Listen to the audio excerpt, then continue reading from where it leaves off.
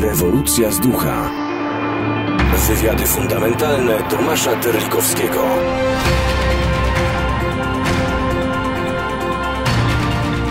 I teraz znowu zmienimy trochę temat. E, wrócimy poniekąd do teologii ciała, do teologii małżeństwa, do wizji ojcostwa. Powiedziałeś w pierwszej części, że można powiedzieć, że Jan Paweł II jest większym optymistą niż Wanda Połtawska, mhm. jeśli chodzi o teologię cielesności, o, o małżeństwo, o to wszystko. I to widać w różnych jego książkach. Rzeczywiście on stawia bardzo surowe wymagania, a jednocześnie jest, czy w sztukach nawet, znaczy to przedstawienie jubilera wymagania, taki, tak, wysokie, ale możliwe jakby do osiągnięcia. Ale uważa, że one są możliwe do, do przyjęcia. Ja się chciałem zapytać, skąd w nim był ten optymizm? Bo jak się popatrzeć na, nawet na tamte lata, bo mamy taką tendencję, żeby, y, powiedziałbym, idealizować przeszłość, a y, samobiczować się teraźniejszością. Ale jak się popatrzeć na polską rzeczywistość, to ojcostwo na przykład, które Jan Paweł II tak mocno sam reprezentował. Sam reprezentował, ale tak. też tak mocno podkreślał jego znaczenie. No, promieniowanie mm, ojcostwa, ojcostwa, przed sklepem tak, tak jubilera. Tak, tak, tak, to są wszystko wielkie apologii ojcostwa. Nigdy w Polsce nie było przesadnie mocne. Znaczy, my jesteśmy społeczeństwem matriarchalnym, takim mm, typowym. No, mężczyźni szli na wojnę, często ginęli Często też bywali nieodpowiedzialni, uciekali. To, tu Wanda Połtawska wydaje się mieć rację, mając dość krytyczne zdanie. Mężczyźni są niewierni, niewytrwali. Tak. Skąd tak. w Janie Pawle II taki jednak optymizm? Także optymizm co do ojcostwa, bo jak się czyta nawet kazania Jana Pawła II do Polaków, to papież no jednak wierzy w to, że nie tylko matki mają rolę do spełnienia, chociaż kobiety są w jego pismach rzeczywiście no niezwykle mocno docenione. Tak, Ale także mówi ojcowie przed... mają taką rolę i oni są jego zdaniem. Tak, Półtawska mówi, napisał pięć dokumentów e, do kobiet, żebyś ty, babo, wreszcie zrozumiała. No ja cytuję, prawda? Coś w tym stylu. Ale um, ojciec, ojciec, um, ja, którego również nazywacie ojcem. Skąd e, pochodzi ten cytat? Plac Zwycięstwa, 3 czerwca, wczesnym rankiem w Warszawie, 79 rok. Jan Paweł II wspomina ten e, moment, kiedy jego ojciec daje mu e, książeczkę w, i pokazuje modlitwę do Ducha Świętego.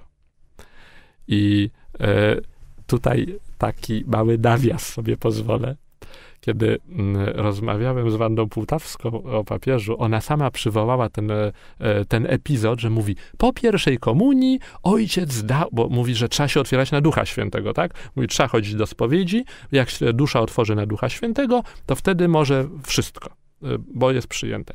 I mówi, i po spowiedzi, po pierwszej komunii świętej, ojciec dał Karolowi Wojtyle tę książeczkę z, modlit z modlitwą o dary Ducha Świętego.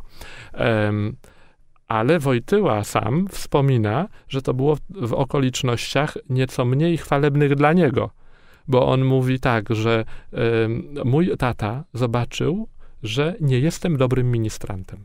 Ja nie wiem, o co tam, dlaczego tam nie mówię, może się spóźniał albo coś. I mówi, i pewnego dnia mówi tak, synu, nie jesteś dobrym ministrantem. Za mało się modlisz do Ducha Świętego. I wówczas pokazał mi tę książeczkę, prawda? I, yy, i wtedy Karol Wojtyła y, do młodzieży, mówiąc w 79 roku, przywołał tamten epizod właśnie, który, kiedy ojciec dał mu tę modlitwę o dary Ducha Świętego.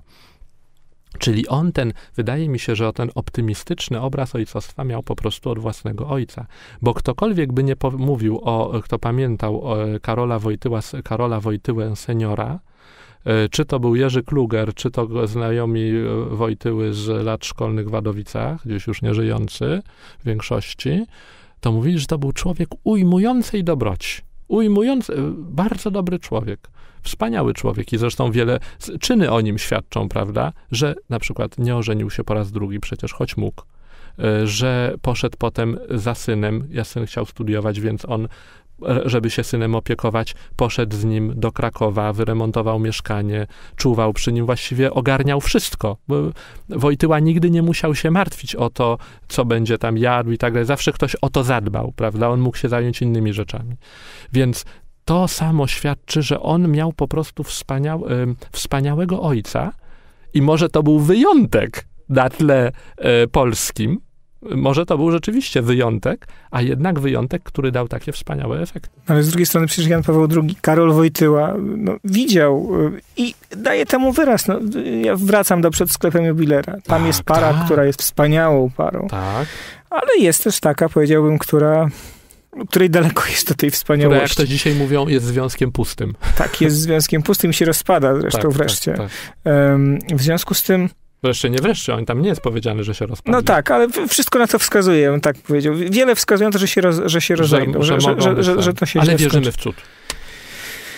No właśnie, ale ja wrócę do tej głębokiej wiary Jana Pawła II w, człowieku, w człowieka. Często jest taka opinia, że ksiądz siłą rzeczy, przez to, że towarzyszy ludziom głównie w konfesjonale, czy w takich momentach, kiedy ludzie mają problemy, no bo mm, przychodzi się do księdza raczej po to, żeby pomógł rozwiązać problem, niż żeby podzielić się tym, że jest fantastyczny. E, więc wydawałoby się, że spowiednik, ksiądz, kapłan powinien mieć raczej pesymistyczną wizję natury mm, takich relacji. A u Jana Pawła II tego nie ma. Rzeczywiście, jak się czyta e, e, nawet mniej miłość i odpowiedzialność. Miłość i odpowiedzialność jest jednak bardzo surowa miejscami, taka Tak, tak. radykalna. Ale kiedy się czyta mężczyzną i niewiastą stworzył ich, to to poraża optymizmem. Naprawdę to jest e, e, tak optymistyczna wizja małżeństwa, że ktoś, kto żył w małżeństwie, może sobie postawić, znaczy natychmiast stawia sobie dwa pytania. Skąd on to wie? Skąd on to wie? Ale drugie, y, y, matko, nigdy nie dojdę do takiego poziomu. Mnie się wydaje, że to jest po prostu niezwykle głębokie życie wewnętrzne. Dlatego, że życie wewnętrzne, co to znaczy życie wewnętrzne? Życie wewnętrzne to znaczy y, zjednoczenie z Bogiem. Dąży Jan Paweł II konsekwentnie przez całe życie, a przynajmniej od czasu, kiedy spotkał Tyranowskiego, y, dąży konsekwentnie do świętości. A świętość to jest zjednoczenie z Bogiem, życie życiem Bożym. On wielokrotnie mówi, że czł- człowiek ma udział w życiu Boga samego. Życie Boga samego to jest życie Trójcy. Życie Boga Ojca, Boga Syna, Boga Ducha Świętego.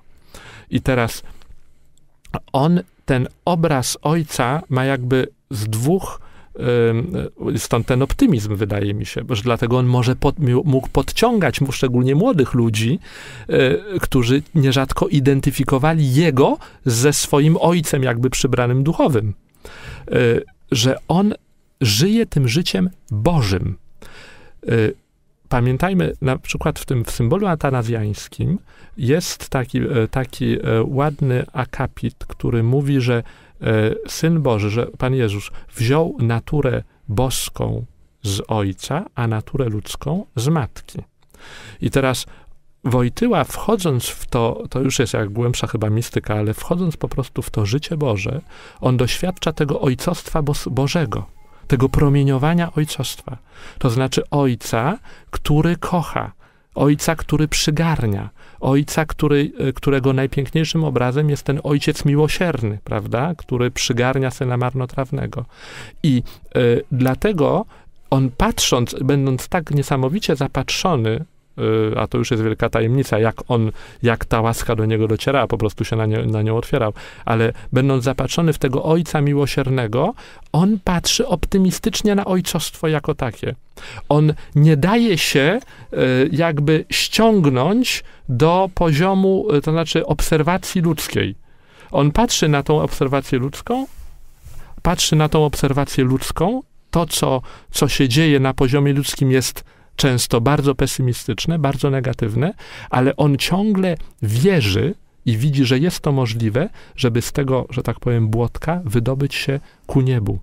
Bo jeśli on widzi nawet na własne oczy ludzi, którzy wydobywają się z tego, no to, y, którzy przechodzą, no nawet tak jak Wanda Pułtawska przeszła przez obóz i mogła dojść do, do, do, do wielkiego zjednoczenia z Bogiem, to, to on patrzy optymistycznie. Jeśli patrzy na przykład na Jerzego Ciesielskiego, który też miał y, osobiście y, taką, no to też była trudna sytuacja, bo on chyba dosyć wcześnie stracił ojca, y, więc, więc też, też jakby był pozbawiony czegoś, a jednocześnie staje się wspaniałym ojcem, to on widzi, że łaska może naprawdę w człowieku zdziałać cuda. To znaczy łaska Boga Ojca.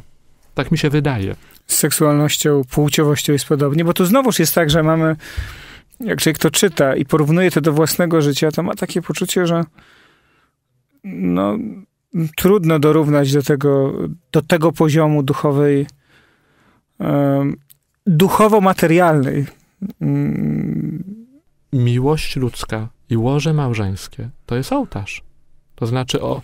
Tak, ale my jesteśmy ludźmi. E, Stary Testament jest pełen przypomnienia o tym, że przychodzimy do ołtarza, ale nasze intencje nie są czyste. Nie są czyste. I, I dlatego, podobnie jest z ołtarzem małżeńskim. Dobrze, i dlatego on właśnie dlatego to bardzo jest dobra rzecz, warto w to wejść, bo Wojtyła na przykład nie patrzy na e, relacje między mężem i żoną i na przykład e, na, na płodność i na ich e, zbliżenia i okresy wstrzemięźliwości tylko w kategoriach no bo nie możemy mieć dzieci, albo bo chcemy mieć dzieci tylko w takich kategoriach bardzo pięknych, ale jakby tylko ludzkich, przyrodzonych, tylko on patrzy na to w kategoriach mistycznych. To znaczy mówi, niech twoja miłość, niech nasza mi miłość stanie się czysta.